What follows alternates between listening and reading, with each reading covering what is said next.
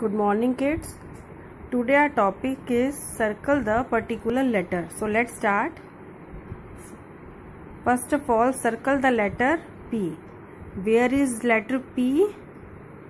This one. And we circle the letter P. Next is circle the letter M. Where is letter M? Here. And we circle it.